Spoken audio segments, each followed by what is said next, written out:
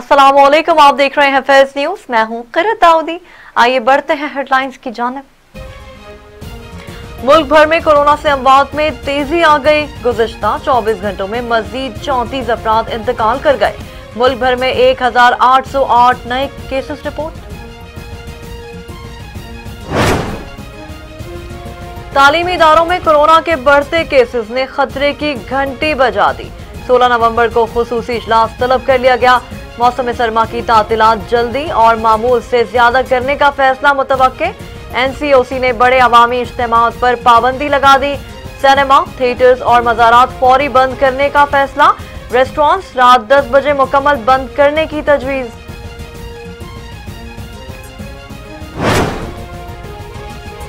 सर्दी में इजाफे के साथ ही लोअर सिंध में धुंध छा गई। सजावल, ठट्टा और बदीन धुंध की लपेट में आ गए।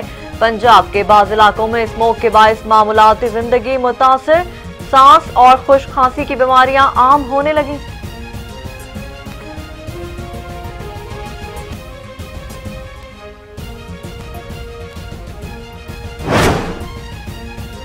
गिलगित बल्तिस्तान में इंतबी मुहिम जोरों पर। इंतबी सरगर्मियों में तेज़ी आ गई। इलेक्शन ड्यूटी के लिए चारों सूबों से पाँच हज़ार से जायद पुलिस एहलकार तलब कर लिए गए। जीबी के ढाई हज़ार से जायद एहलकार भी इलेक्शन ड्यूटी देंगे। रेंजर्स के 1700 और एफसी के 1100 एहलकार पुलिस की मदद करेंगे।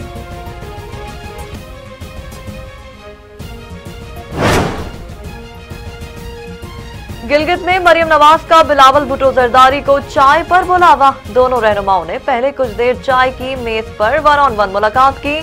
फिर बाग में आधा घंटा चहलकदमी करके तबादला ख्याल किया। मरियम नवाज़ ने कहा, मुलाकात पीडीएम के मामला पर हुई।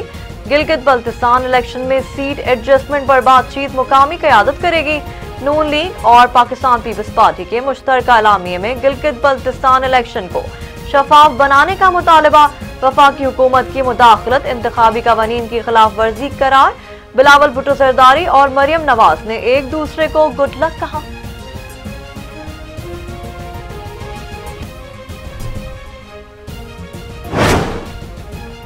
कौमी बयानी पर कोई समझौता नहीं होगा। ऑपोजिशन का हर हर बाना काम बनाएँगे। वज़ीर आज़म इमरान खान का ऐलान। बोले ऑपोजिशन मुल्क दुश्मनी पर उतर आई। पार्टी रहनुमा को कौमी बयानी से मुतालिक फ्रंट फुट पर आकर खेलने और हर मुहाज पर ऑपोजिशन का मुकाबला करने की हिदायत कर दी।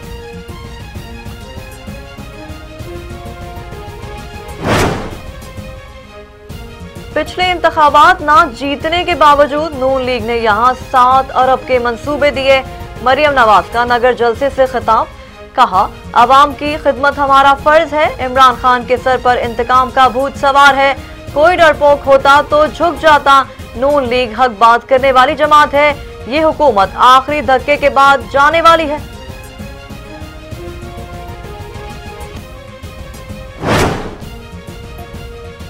पाकिस्तान पीपल्स पार्टी की शरोट में रैली बिलावल भुट्टो जरदारी ने कयादत की। खिताब में फिर अपने मंशूर का ज़िक्र और गिलगित को हुकूक दिलाने के वादे कर दिए।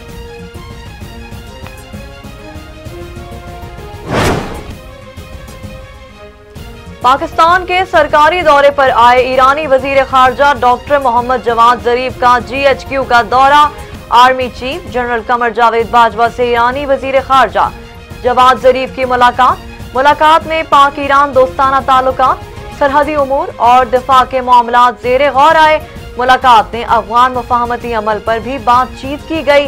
ईरानी वज़ीर खारजा ने अमनो इसकाम बिलखसूस अफगान अमन अमल के लिए पाकिस्तान के मुस्बत करदार को सराहा।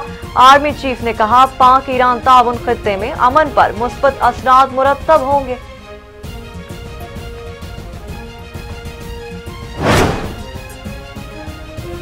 नून लीगी रहनुमा एहसन इकबाल के ट्वीट पर रीट्वीट अमरीकी सफारत खाने ने मुआफी मांग ली। मंगल के शब सफारत खाने का अकाउंट गैर मुतल तौर पर इस्तेमाल हुआ। सियासत से मुतालिक रीट्वीट की हिमायत नहीं करते अमरीकी सफारत खाने की वजाहत। अमरीकी सफारत खाने ने ट्वीट में कहा, गैर मुतल ट्वीट पर मौजरत ख्वाह है।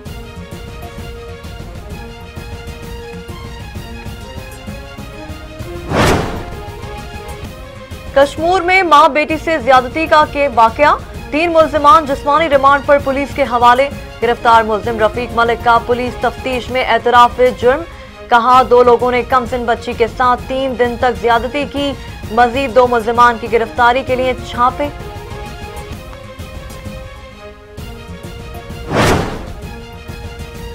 मनी लॉन्ड्रिंग रेफरेंस में एहतसाब अदालत में शहबाज शरीफ, हमजा शहबाज और पूरी फैमिली पर फर्द जुर्म आयद कर दी गई। मुलजमान ने सहते जुर्म से इनकार कर दिया। शहबाज शरीफ ने अदालत में कहा, तमाम इल्ज़ाम झूठे हैं।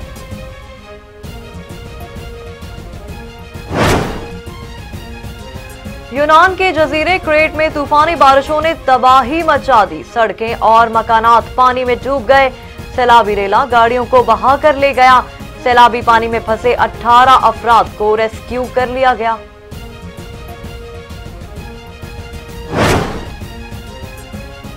और मिसबाउल हक ने बतौर चीफ सेलेक्टर अपनी आखिरी टीम मुंतखब कर ली। दौरा न्यूजीलैंड के लिए 35 रुकनी स्क्वाड का ऐलान। सरफराज की वापसी, नए डोमेस्टिक सिस्टम के बेहतरीन बॉलर नुमान अली 35 खिलाड़ियों में भी जगह ना बना सके।